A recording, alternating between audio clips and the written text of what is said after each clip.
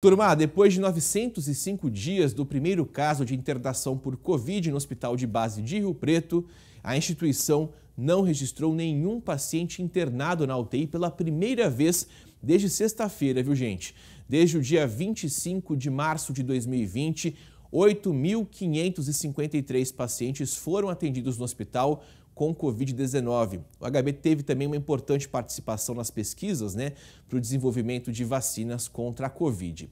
No fim de semana agora, pessoal, um paciente suspeito chegou a ser encaminhado para a unidade, mas o caso dele foi descartado depois de exames.